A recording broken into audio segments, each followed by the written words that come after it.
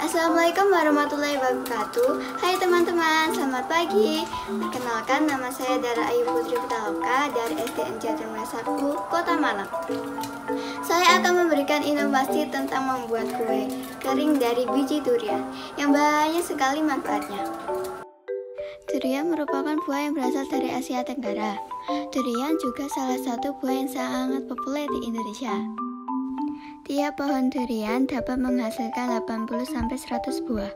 Bagian dari durian yang umumnya dikonsumsi adalah dagingnya, sehingga bijinya belum termanfaatkan dengan maksimal. Oleh karena itu, saya dari Pilar Nutrisi akan memberikan tips untuk mengolah biji durian sehingga dapat bermanfaat. Langsung aja yuk! Siapin alat dan bahannya ya.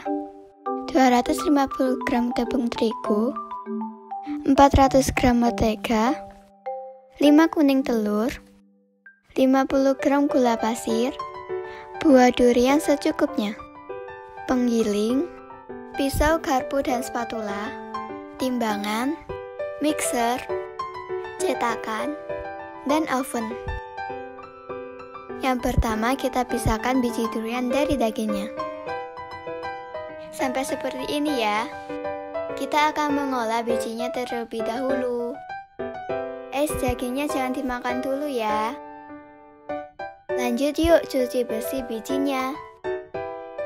Kemudian dijemur sebentar selama beberapa jam. Setelah dijemur, kita kupas bijinya. Setelah itu kita iris tipis-tipis. Lalu kita cuci kembali sampai getahnya hilang.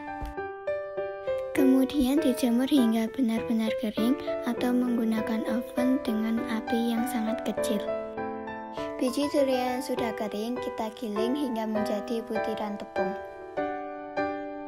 Untuk membuat adonannya, masukkan mentega, gula pasir, dan kuning telur. Kemudian kita mixer sampai tercampur.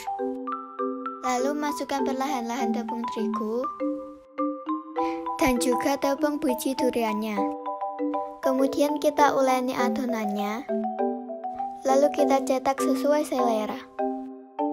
Tata di loyang, kemudian masukkan ke oven dengan panas atas bawah. Kita panggang selama 15 menit ya. Untuk membuat cocolannya, siapkan 125 gram daging durian seperempat sendok teh garam, satu setengah sendok makan tepung maizena, dua setengah sendok makan gula pasir, 150 ml air, dan satu bungkus susu kental manis. Masukkan semua bahannya ke dalam blender.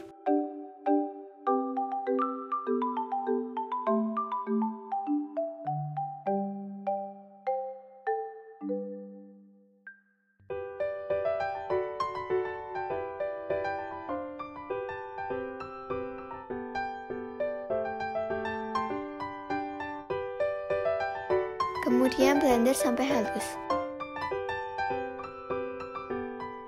Kemudian kita masak sausnya. Aduk terus di api kecil. Angkat jika sudah bergelembung.